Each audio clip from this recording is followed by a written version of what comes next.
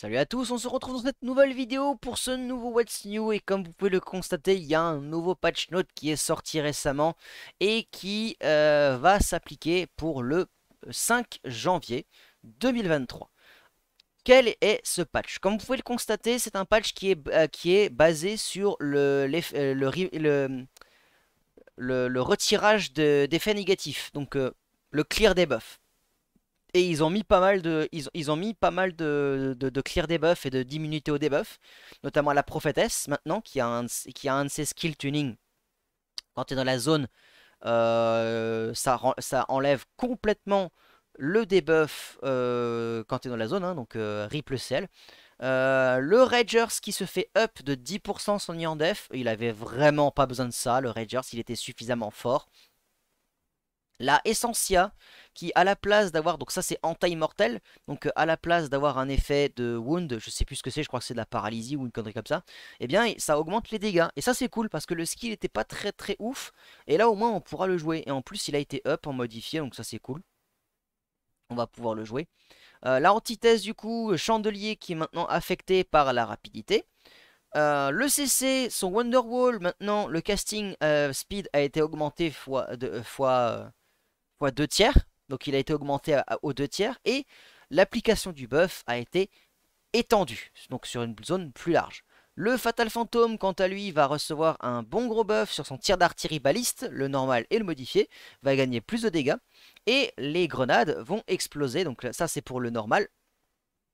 Euh, elle explosera pas exactement là où elle a été, euh, là où elle a été visée, parce qu'il faut savoir qu'avant on pouvait faire bugger, euh, par exemple, quand tu avais du lag ou je ne sais quoi, et la grenade, elle explosait pas forcément là où euh, là où où il y avait la cible en fait. Si tu avais le moindre petit lag ou quoi.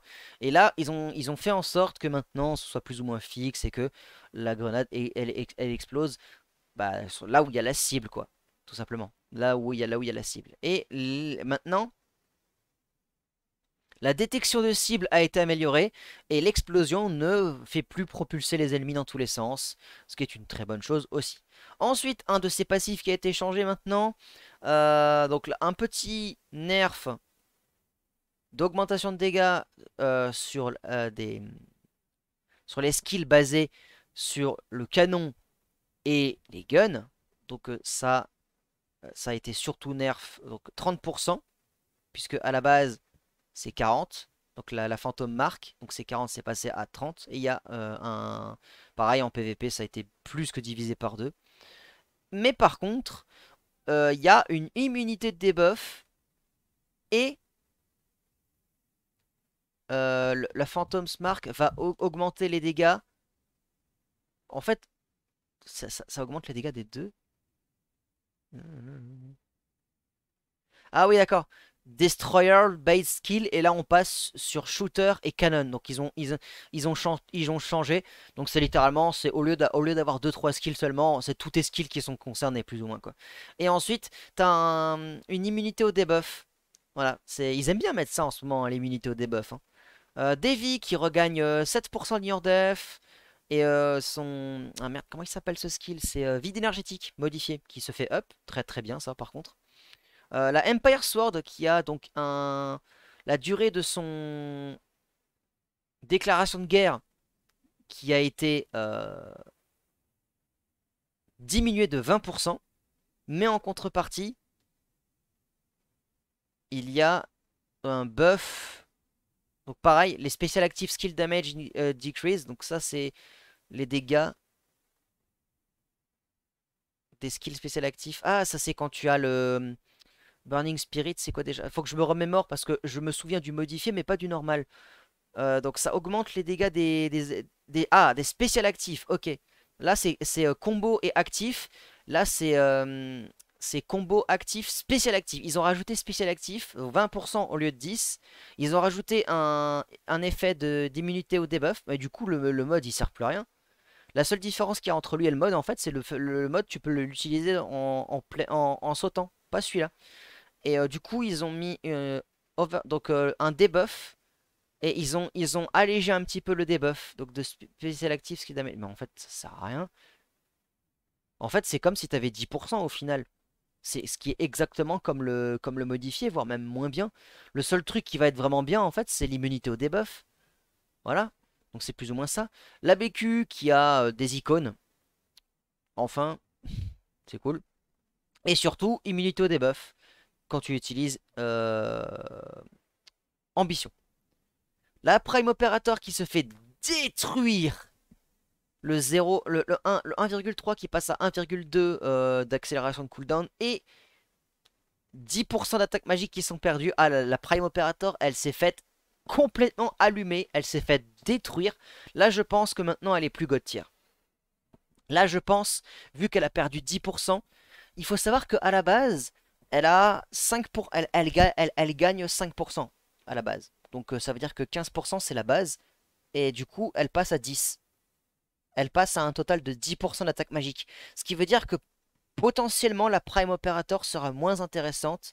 Et donc, elle risque de descendre des personnages god Il y a de très très fortes chances.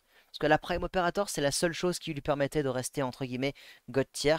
Et là, pour le coup, ben, il y a de très fortes chances qu'elle soit moins prise.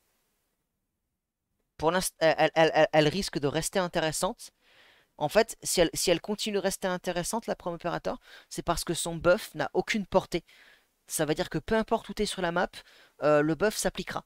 Donc ça, ça, ça lui permet de rester forte. Mais mais le fait qu'elle ait perdu 10% d'attaque magique fait qu'elle elle risque d'être moins prise. Ça c'est clair. Eternity Winner qui se fait up, donc sur son Labit Thunder. Donc euh, les 5 premiers combos sont plus rapides. Donc ce skill-là risque d'être jouable. Avec un Ior Dev de 82%, ce qui est extrêmement fort. Tu me diras, je crois que les, je crois que les 70%, nous on les a même pas encore. Ou peut-être qu'on les a. Mais je sais que le skill n'est pas joué parce qu'il est trop lent.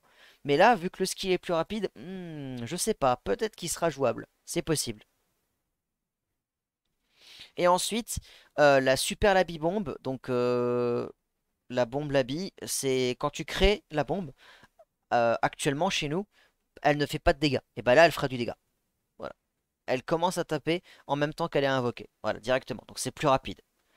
Et le Celestia qui se fait full nerf ouf Le stack de verso qui se fait ultra nerf, qui passe, la base, elle était à 20, ça passe à 10, et l'amélioration qui passait de 20 à 30, elle passe de 10 à 20.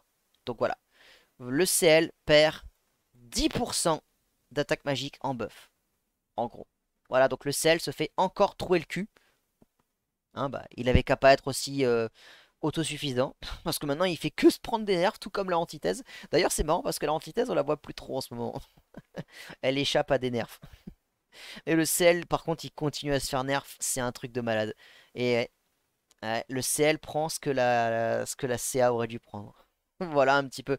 Je ne sais pas ce que vous pensez de tout ça. N'hésitez pas à me le dire dans les commentaires. On va se retrouver pour un prochain What News. What's News. J'espère que vous avez kiffé. Si le cas, n'hésitez pas à commenter, liker, partager, vous abonner. Et on se retrouve pour une prochaine vidéo. Je vous dis à tous. Bye tout le monde